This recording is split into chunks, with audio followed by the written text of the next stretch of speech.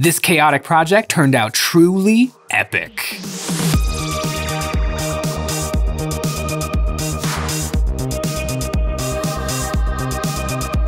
I was not excited for Kill Team Gallowfall. I really wanted it to be Space Hulk. I wanted it to be Genestealers versus Blood Angels Terminators.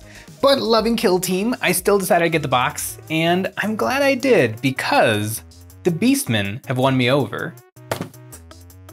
One of my favorite things in Kill Team is the combat mechanic. It's so different from Big 40k, and no current Kill Team really takes full advantage of it. Most Kill Teams have a couple of guys who are like the swordy guy, the daggery guy, but the Beastmen are pure close combat, and I really want to experience what that gameplay is like. Also, I've never painted fur before, and I bought some Dirty Down Rust Effect, which the internet has been raving about. I'm a little skeptical, but I think the Beastmen will be the perfect thing to try them out on. The Beastmen don't jump out to me as a very 40k faction, but then I kind of thought about it some more, and what's more 40k than taking a classic fantasy race and just dropping it onto a spaceship? I want to paint some goat boys, time to get to work. I based these beasts with some epic basing bits, battlefield bones, sand, and milliput to set them in a dark and foreboding chaos landscape. Well, it will be a dark and foreboding landscape. Right now, it just looks like a mess of putty resin and plastic. But that'll all change after a few layers of airbrushing. These goat boys need a prime, and my favorite primer is black. It's never let me down. Then I went in with three airbrush colors, starting with an almost green black sprayed from below, a sickly green in the middle, and a light sickly green from the top. I don't know how much of this greenish zenithal is going to show through on the final, but I want them to exist in a really evil, grim, dark world. Games Workshop painted their Beastman kind of a brown tan, which looks pretty good, but I feel like it hides a lot of details. I want my guys to really pop. I was Googling pictures of goats, and I think the perfect thing for these little guys is going to be a cute little lamb. This is my reference material. I think that grim darking that up is going to be the perfect way to make my Beastman stand out. Oh, look at the little bugaboo. To achieve my adorable color scheme, I need to paint the flesh a healthy looking pink. I thin down the paint with water and a little Jo Sonja Magic Mix, which is a paint medium. This makes the paint semi-transparent and I put this all over their little button noses, around their eyes and all over their bulging muscles. The Zenithal before shows through this layer and it'll give me my shadows and highlights.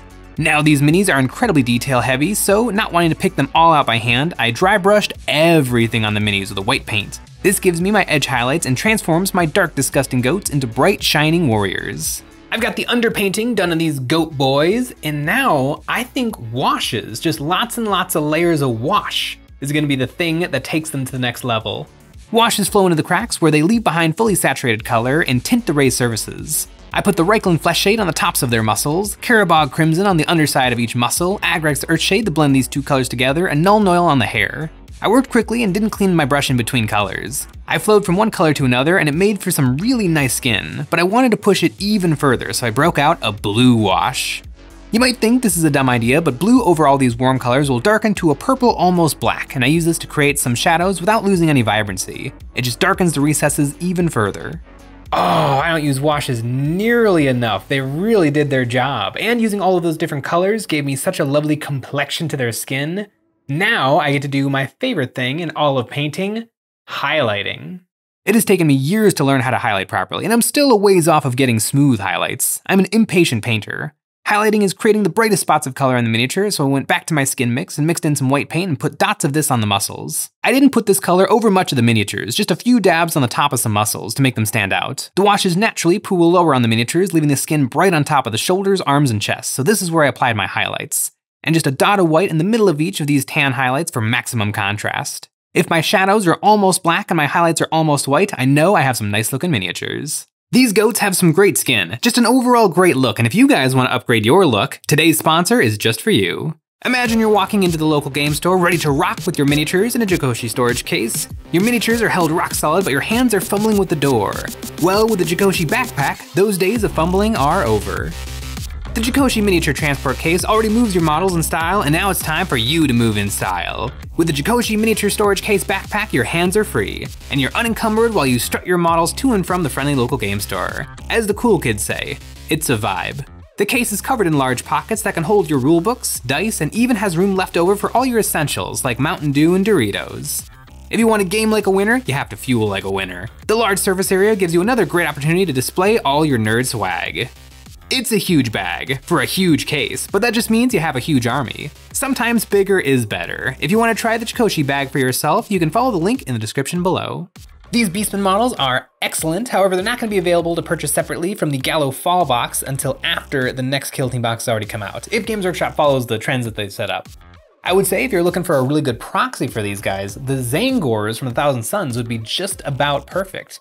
They're the right size and shape, and they are also half man, although they're half bird instead of half goat. And speaking of goats, it's time for the fur. I decided to paint the fur in the hardest way possible. I could have just dry brushed it, these Games Workshop minis have some pretty good sculpted texture. But what will make the fur look extra real is making hundreds of little lines. I took a very sharp paintbrush and a light gray paint and touched it to the model and then dragged it away. Doing this over and over and over and over and over, it was a lot of work. But it made the hair look a lot more real. After I did this once with gray, I did it again with white paint. Luckily, these guys are mostly naked. I don't think I could do this on something like a squad of horses, or heaven forbid, an entire Skaven army. Ah, these goat guys. With the skin and fur done, they're like 80% complete, and I do think they look a fair bit like my reference material, which, once again, is this. It's so cute. And now I wanna move on to the metal, and to do this, I actually have it in my pocket some Dirty Down Rust Effect. I have never used this up before, and actually the reason it was in my pocket is because it seems to be pretty sensitive to temperature. It's usually pretty cold in my studio, and so that mixing ball was just stuck to the bottom in a layer of gunk, but warming it up a little bit in my pocket, it's working, so let's see what happens. Ooh, and of course I can't test a new product without giving it the sniff test, so, ooh, ooh. Do you know what that smells like? That's. Does anybody remember balloonies? like that, that those tubes of toxic sludge you give to little kids. It's like a an off-brand rubber cement, and you like blow bubbles out of it, and they're crazy colors. It smells. It smells exactly like that. Holy cow, that's a memory from way back in the deep dark recesses of my brain. Now I'm really curious to see what happens. This stuff is really watery. I pulled some of it out of the bottle with a pipette because I was nervous of it all pouring out if I just tipped it onto my palette. It sucks up onto the bristles like a wash, and I just threw it over all the metal. It doesn't look like much wet, just a nice orangey color, and I tried it on the axe guy thinned way down with water to see if that changes anything. It dried fairly quick, some parts were already starting to rust up before I was done brushing it on, and after about 5 minutes, it had transformed. The Dirty Down looks very good, it's really convincing, but I'm not sure if convincing is really what you want, in miniature painting, you're always kind of exaggerating for effect. Right now, their bodies are very silly and theatrical, and the rust is very accurate, and it looks a little bit off. Also, when you thin it down, you lose a little bit of the vibrancy of the orange, but it doesn't seem to diminish the effect at all. It still did the rustiness I think what I'm gonna try to do is, it's water soluble, so I'm gonna introduce a little bit of water and see if maybe I can remove a little bit of the paint, and then I think a dry brushing will clean it up nicely.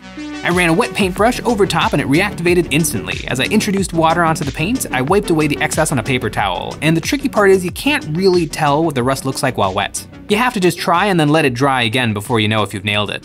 The paint is very workable though, a bit like oil paint. I had no problem rubbing the paint away and once it dried I could see much more of the undercoating through the rust. It was looking much more subtle. Now to highlight, I put some bright silver paint onto my dry palette and began dry brushing, rubbing this over the rust effect, and it worked perfectly. I was nervous that this would reactivate the paint and mix, but the rust stayed down and the silver stuck to the edges, giving me nice highlights. Now I'm loving how this metal looks, but I still want to go darker in some places. I put black wash over these areas, and the wash paint sticks to the rust effect. It kills the orange pretty much instantly, but it did leave me with some nice shadows. All right, this Dirty Down stuff is pretty amazing. It's very, very workable once it's on there, and you can get some pretty amazing effects out of it. It looks really good. Almost as good as the terrain over on our Patreon. Over there, we have a new train pack every month. This month, we have the Gothic Modular Trenches a customizable network of walkways with bits to make them suitable for Imperial or Chaos factions. You can pick up the whole set through the EOB terrain tier on our Patreon hosted through Comics Games and Things, or you can subscribe to our tribes over on My Mini Factory. The Goatmen are uniquely disgusting, even in the world of Warhammer 40k where everything is awful and covered in blood. In the lore, it describes the pinnacle of their civilization, the Her Totems, these giant effigies to chaos, are covered in bones and skulls and chains and blood, and feces. Yes, poop. They pray to poop rocks. I have so many questions. Are they little goat pellet poops? Is it human poop? How many times am I allowed to say poop before the video gets demonetized? I have so many questions and no answers, and it just makes me fall in love with the Beastmen. And there's just a few more disgusting things I want to do to these guys before I wrap them up. I glazed an ultra watery blue over the hair. This might seem nuts, but I'm introducing a little bit of coldness into the fur, and that'll make it stand out strongly against the warm muscles and armor. It's like playing a trick on your eyes. It won't look blue, just very different from everything else on the models. Another sickly thing I decided to do was to make the eyes bleeding. I don't know why this would be happening to them. Maybe it's chaos, maybe it's a dry climate, maybe it's their contact lenses, but it sure is creepy. And for their eyes, I base coated them with a dot of white paint and then a coat of fluorescent yellow paint. The blood outlines the eye sockets nicely, and the fluorescent paint reflects more light than the surrounding white fur, making their eyes stand out. And the leader has a stolen plasma gun, which I decided to paint with a Dawn of War hot pink. I used the airbrush and magenta ink to overspray and do a little bit of object source lighting, and then glaze some white paint into the plasma coils. Thinned down, this runs into the cracks and leaves behind nice white lines, which I exaggerated by painting more magenta onto the tops of the coils. Imagine Beauty and the Beast with one of these guys. Very different love story. I'm agonizing over what color to paint the bases. Originally I was thinking blue, but now it doesn't seem right. I think I want to go with something a little more disgusting. Maybe a pea brown and a poop green. I took the grossest speed paint colors and put these on, making each base 50-50, with a blend in the middle.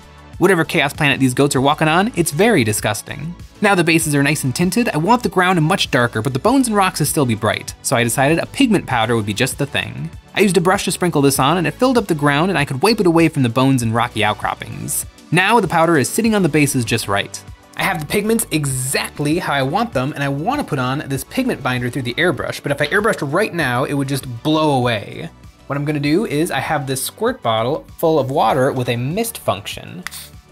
That should be just enough to saturate the pigments without blowing them away, and then I can come in with the airbrush. I love getting to do weird stuff to minis, and spritzing them like succulents definitely qualifies as an unconventional painting method.